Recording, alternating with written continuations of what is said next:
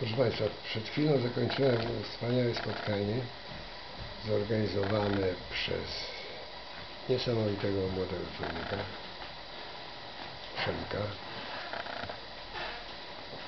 który robi rzeczy niepodobne do innych.